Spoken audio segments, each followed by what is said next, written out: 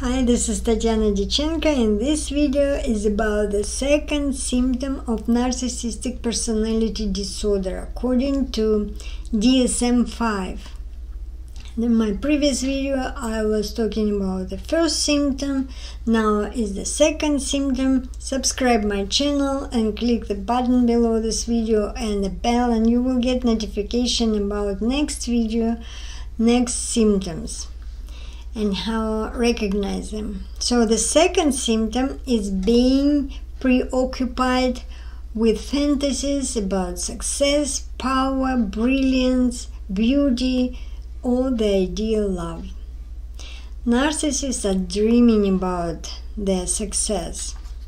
They want to be rich, powerful, for example, one of my clients, he was diagnosed with narcissistic personality disorder and he was dreaming about conquering the world like uh, Napoleon or Hitler. And the bad news is that some narcissists make these dreams come true. And this is why we have all this political trouble political leaders who, who are narcissists, they don't care about people, about their country, they care only about their success and power and money.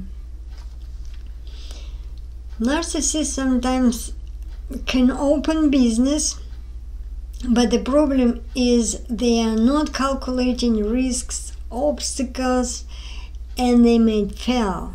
Fail.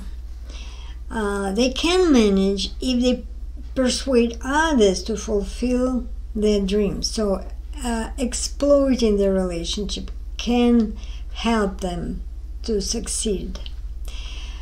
But very often they cannot um, be consistent in pursuing their goal. This is why they fail. Fantasies of brilliance and high education I observed in one of my uh, university friend. She was talking about school success, high school success, how all teachers admired her, how she was um, writing brilliant essays, but in the university she didn't show any signs of brilliance, and some simple assignments she couldn't uh, complete. And at that time, I felt so sorry for her that teachers don't understand her brilliance. This is why she's failing. But looking back, I see all nine symptoms uh, of narcissistic personality disorder, and I'm sure it was just fantasy about brilliance how fantasies of uh, beauty look like in narcissists. They want to be beautiful and young, younger than people of their age, and they do a lot of procedures, uh, salon or surgical procedures. Sometimes they want it so bad they damage themselves. So all these fantasies and desires can be very um, not adaptive. Narcissist is also preoccupied with the ideal love, and I talk about this in my previous video, Narcissistic Love. When they meet a potential partner, they feel, oh, this is my dream come true but it doesn't last. Only several days and they get bored and they spoil their relationship themselves. They push people away and it doesn't matter if you if you're a partner of a narcissist and try to stand up for your for your right and not always give or you are giving and giving you will not win the narcissistic heart because they will disqualify you. You're not fitting in their standard of ideal partner. It just can't happen.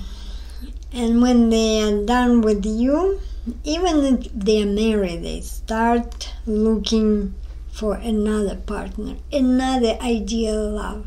So all these fantasies of a narcissist, they are maladaptive and they can damage themselves or other people around them and they suffer and make other people suffer. And when you see these mm, signs of narcissism, don't wait to the point you will be destroyed and your self esteem will be damaged. Uh, don't waste your time and energy, you deserve better. I wish you a healthy and happy relationship and I wish you be aware. This is the purpose of this video. Subscribe my channel. See you next time. It was Tatiana Dyachenko.